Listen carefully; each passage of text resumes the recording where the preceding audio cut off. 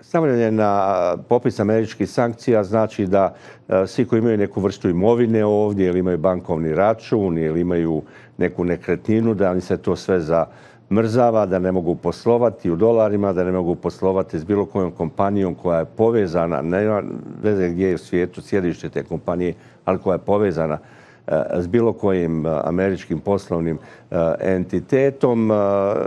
Ljudi na Balkanu često kažu da američke sankcije samo pridonose popularnosti onih koji su stavljeni pod te sankcije. Međutim, u stvarnom svijetu sankcije znače da jednostavno ljudi koji su politički čelnici ne mogu više normalno e, voditi razgovore s mnogima u Europi ili u svijetu, ne mogu e, predstavljati neki svoj politički interes svugdje u svijetu, osim možda u slučaju obitelji Dodik u Kini, Rusiji, Mađarskoj i možda u dvije, tri manje zemlje u svijetu.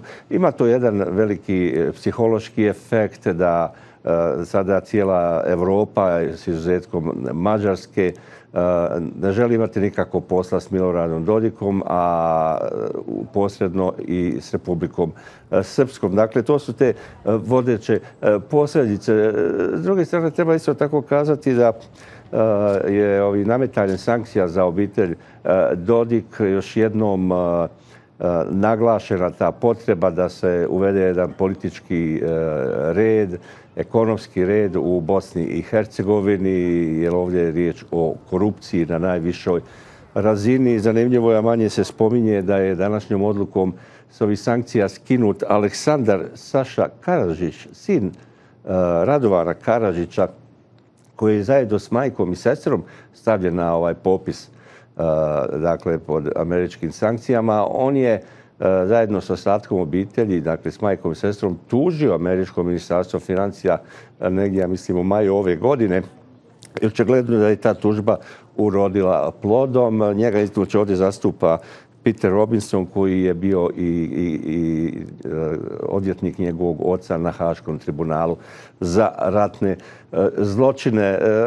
treba isto tako kazati da imamo mnogo imena koji su pod američkim sankcijama. Ajmo samo se fokusirati na Bosnu i Hercegovinu. U posljednje vrijeme to su e, bili Marinko Čavara koji je nakon toga postavljen za predsjedavajućeg predstavničkog doma u parlamentu Bosne i Hercegovine. Tu je Fadir Novavi, bivši premijer dakle, federacije, entiteta federacija Bosne i Hercegovine.